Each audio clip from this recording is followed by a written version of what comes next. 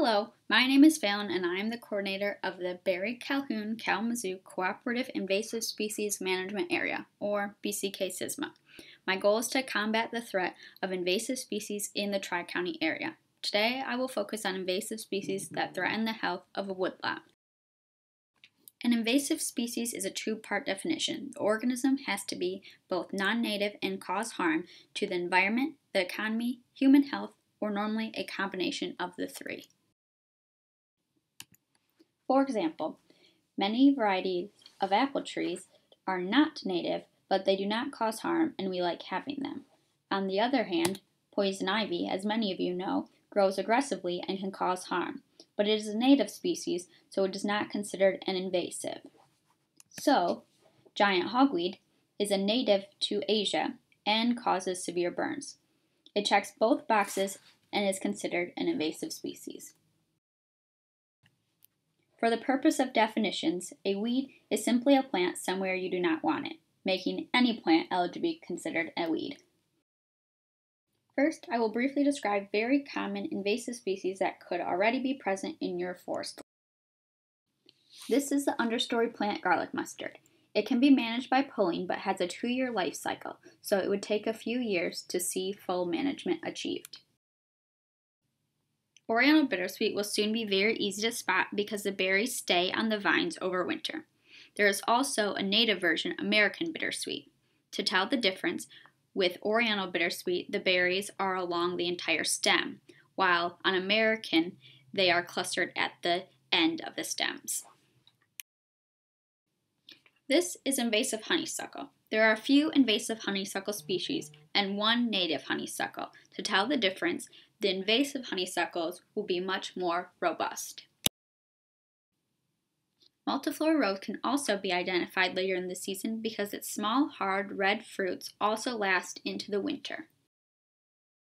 Japanese barberry is still very commonly sold for landscaping. However, studies have linked barberry to increased tick populations, especially when it is in a forested area. Extremely common, autumn olive is easy to spot from far away due to the shiny looking underside of its leaves.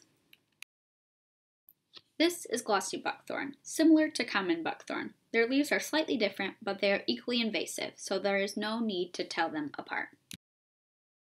This is tree of heaven. When its leaves are crushed, it smells like rotten peanut butter. Emerald ash borer. You may not see the bug very often, but I am sure you have seen the effects it has had on our ash trees.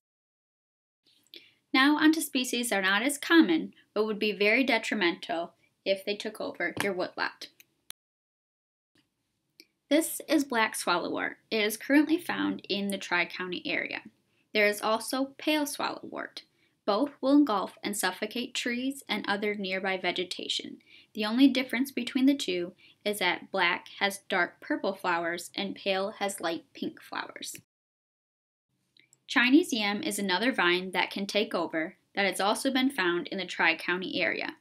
It is very easily confused with bindweeds, but bindweeds have much showier flowers. The Asian longhorn beetle is not found in Michigan. I believe the closest known infestation to Michigan is in southern Ohio. The Asian longhorn beetle's favorite tree would be the maple. However, they have been known to attack many other hardwoods that are native to Michigan. This is a hemlock infected with hemlock woolly adelgid. The adelgid itself is tiny, but it leaves a white cotton looking mass at the leaf axis on the underside of the branch. Currently, there are infestations of hemlock woolly adelgid along the lakeshore of Lake Michigan. However, lots of work is currently going into containing and managing those infestations.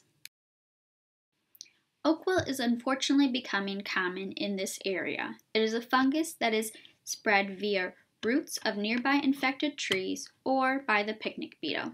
The fungus affects the tree's ability to transport water, causing it to die quickly after infestation.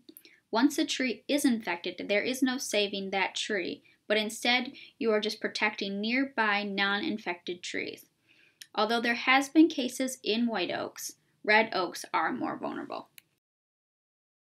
The easiest and cheapest way to manage invasive species is to never have them in the first place.